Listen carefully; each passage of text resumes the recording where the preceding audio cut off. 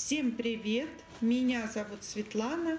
Я рада приветствовать вас на своем канале. И сегодня, дорогие мои друзья, мы с вами поговорим об одиннадцатом знаке Верховного Зодиака. Это охотник. Это человек обязан достигать своей цели, несмотря на постоянно меняющийся мир. На то, что ситуация никогда не бывает стабильна, а цель удаляется, мимикрирует – Охотник, поднавшийся за двумя зайцами, пытающийся на ходу перестроиться, усомнившийся в себе, в своем пути, проиграет, причем проигравшим станет его собственная судьба.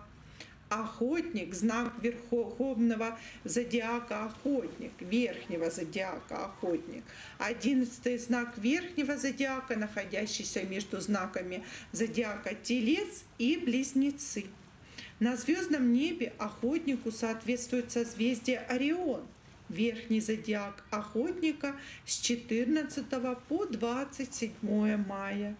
Верхний знак зодиака охотник имеет еще несколько архетипов.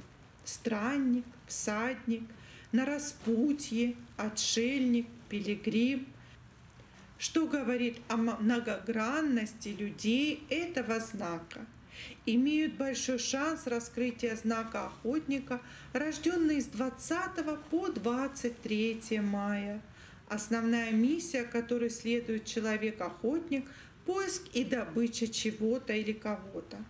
Объектом его поиска может быть то, что доставляет ему некое эстетическое удовольствие, обеспечивает комфортное существование или удовлетворяет какие-то иные потребности, имеющие в основном материальную природу. Для обеспечения успешной охоты он использует свой огромный потенциал, который ему дает телец, таланты, накопленный опыт, силу и материальную базу. Близнецы же даруют ему ум и знания, ловкость, свободу в выборе ориентиров, средств и методов, что еще больше увеличивают его возможности. Однако интеллектуальная подвижность и двойственная природа близнецов порождает множественность, некую разбросанность, ставит охотника перед проблемой выбора – Человек этого знака, будто натянутая тетивой лука стрела.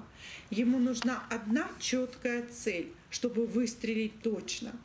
А их у него бывает несколько. Вот он и ищет из множества наиболее приоритетную. Но она часто ускользает, раздваивается. Он может погнаться за двумя зайцами и ни одного не поймать. Протеже Ориона следует всегда помнить, что недостаточно быть просто свободным и обладать всем арсеналом возможностей. Не менее важно иметь правильные ориентиры и уметь делать верный выбор. Иначе можно заблудиться в лесу, запутаться в своих предпочтениях и желаниях или ошибочно растратить то, что давно изначально, а в итоге ничего не получится. Весьма соответствующий Ориону образ, оказавшийся на распутье сказочный богатырь. Все у него есть – силушка удалая, конь богатырский и меч-кладенец, голова на плечах, свобода и право выбора. Но вот в какой-то момент странствующий богатырь оказывается на развилке судьбы. Перед камнем-указателем, вот тогда он и должен выбрать – определиться с направлением.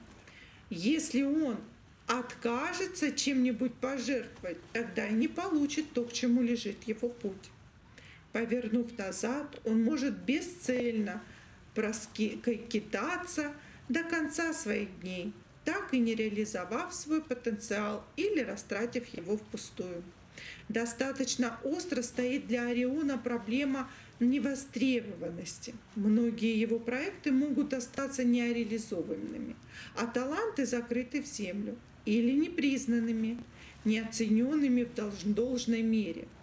Известные люди, рожденные под знаком Верхнего Зодиака, охотник, персоны Николай II, Данте Альгери, Михаил Булгаков, Рихард Вагнер, Андрей Сахаров, Анура де Бальзак, Алексей Моресьев, Борис Акунин, Микки Ле Плачета, Карл Маркс, Александр Дедюшка, Роман Карцер, Олеся Судзиловская, Леонардо да Винчи. Я надеюсь, дорогие мои друзья, вам эта информация была полезной и интересной. Я люблю вас всех и желаю вам всем здоровья, счастья, финансового благополучия, огромной неземной любви, взаимной любви и всего самого наилучшего в мире. Пока-пока!